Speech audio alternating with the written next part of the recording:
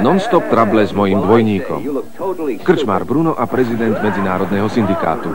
Jeden a predsa dvaja ľudia. Či skôr dva nerovné osudy. Jeden živorí, druhý si užíva. Kto komu prevráti život na ruby?